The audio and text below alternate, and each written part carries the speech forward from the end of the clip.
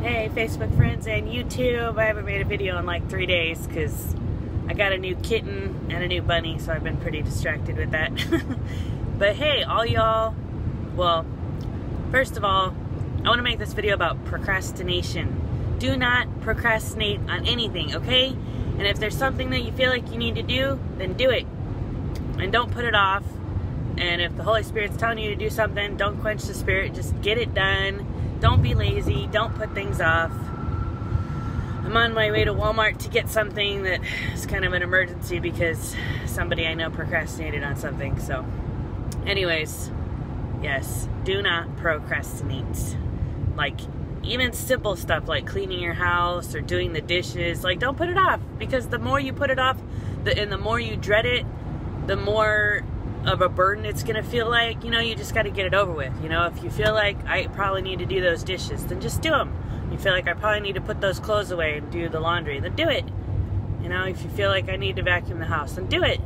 You know, whenever you have that thought, just do it. Don't just like push that thought down and like sweep it under a rug. Like just do it and get it done and you will have peace, you know? I think that's a huge stealer of peace. I know it has been for me like in the past.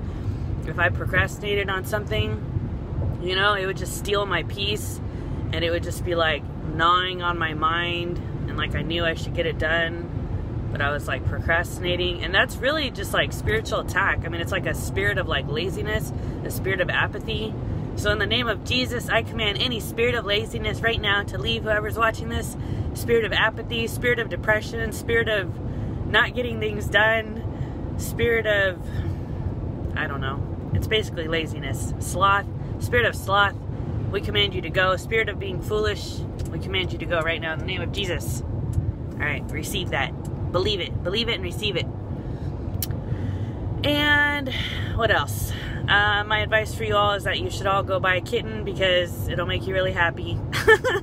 and on Craigslist, you can usually find one. Although it's really hard to find kittens. It's easy to find cats, but not kittens. But we just got a kitten. And he's really cute.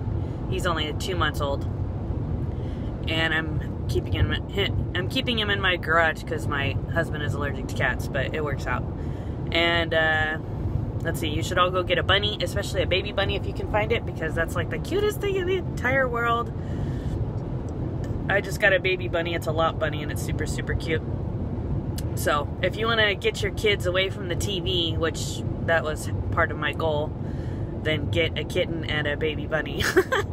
and your kids won't just watch TV all day because that's not good for them. And it'll give you all something to talk about, you know, if you get like a cute little pet.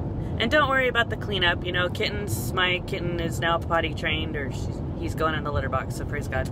And then the bunnies, uh, bunnies also can be potty trained. If you're interested, you can Google that. But if you just put like a carrot over in a corner they always like to go in the in a corner and just put like some cardboard down and some paper towels or something. Then they'll go pee there. And their poop might be random, but you can just sweep it up with the little sweeper thing. But bunnies are really good pets because they're quiet and um, like they really are. They're great. they're so cute. I love bunnies. And they'll just sit there and let you pet them for like an hour, depending on, you know, baby bunnies are better, depending on the breed, but usually, you know, they'll let you just pet them. And I was thinking about it, if you're thinking about a pet for your kid, a dog might bite them and a cat might scratch them. Like, seriously, cats can scratch a lot. But bunnies don't really do anything. I mean, sometimes they'll scratch, but you just have to show your kid how to hold the bunny so that the bunny won't be scared. So you should all buy your kid a bunny. Yeah, yeah. And the weather is beautiful, so I recommend that you get your kid a bike if they don't have one so they can enjoy the outdoor. And my biggest advice that I always want people to know is you all need to drink a lot of water. Like seriously, that will solve that will solve and prevent any health issues that you could possibly have. Is just drink you really should drink about a half gallon to a gallon of water a day. And not like in one sitting, you just got to sip it, you know, just have like a couple drinks every so often because we need water. And if, you know, when people don't get water, I mean, it causes headaches, it causes forgetfulness and all kinds of crazy stuff. So drink water, stop drinking soda, you know. Juice is good, especially cherry juice. Celery juice apparently is really good. Drink lots of water and go for a walk every day. I recommend for sure. And if you have kids, it's really good to have them on their bikes and then you walk and then it makes you walk faster too because you're following them. So I recommend that.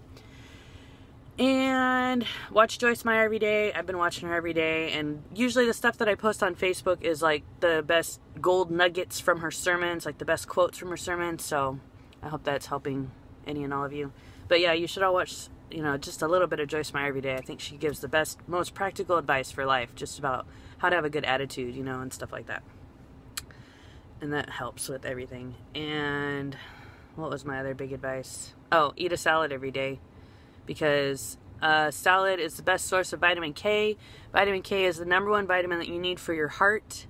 So if you have like chest pain, like I didn't used to have any chest pain, but then I fell off my bike, which caused me to decide to sell my bike. But I fell off my bike, I slipped on some sand, and I fell on my chest. This was like six months ago. And I had this huge bruise on my chest. And so I think that that messed up some of the veins in my chest. And so then, like a month later, I was having really weird chest pains. And then I literally thought I was having a heart attack. Like I had like the tingling in my arm thing, and and then I was like looking it up on Google, and I was like, oh my gosh, that's what it is. Like you see in movies when people like their arm feels funny. And my chest was really hurting. It woke me up in the middle of the night. So I went to the ER. Now I have an ER bill from that, which I so I'll pay eventually, I guess, when I start teaching. But anyways, you got to really protect your heart, uh, metaphorically and literally. But um, guard your heart, yeah. But so anyways, and be careful of like riding a bike and watch out for sand and don't fall. Anyways, and then so eating salad salad has vitamin K, so that really helps your heart. So uh, that I mean that whole thing motivated me to start eating a salad every day. So I guess that's kind of good. And I haven't had chest pain in like a month, praise God. And I've been going for a walk every day, so I think that that's really been helping. And my husband's been praying for me. So if you know anyone that like prays in tongues and you have like a physical pain, just ask them to pray in tongues for that thing and that you know just believe and you can be healed. And pray for yourself too, obviously, you know. So I'm going to do some a little bit of tongue spraying for any of you watching this, but it's probably going to make you laugh because my tongue is really silly.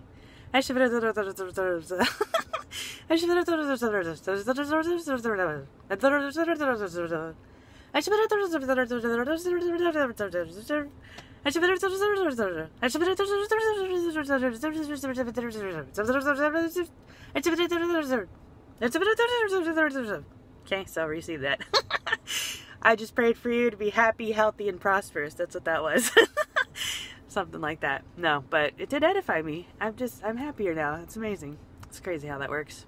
Anyways, I'm pretty sure that's my tongue because uh, I know it sounds weird, but oh well. Anyways, may God bless you all, and if you feel inspired to pray in tongues, just like experiment with it. The key is just to not worry about looking looking stupid to yourself, to other people, and just in general, and just like not worry about it. And I think it applies that verse, you know, if anyone does not become like one of these, he will not enter the kingdom of heaven, become like a child. And I think that's the whole tongues thing, you know, it's kind of like becoming like a child and just like babbling. And I know all about that because my five year old has been babbling for like five years. She's finally getting better. Pray for her about that. But, you know, she did babbling for a long time with her talking. So it's like that. So that's what tongues is, I think. I mean, some people it sounds like a language, but it just depends. So. Anyways, my God bless you all. I pray that that advice helped some of you, and I hope you all have a great spring. Get out and enjoy the weather, and get some bunnies and kittens and bikes for your kids, and drink lots of water. Okay, may God bless you all. Have a great day.